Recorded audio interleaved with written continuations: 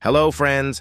In today's video, I'll be showing you how to use Photoshop to create a heartwarming family photo by seamlessly adding any family member to any picture. Let's get started.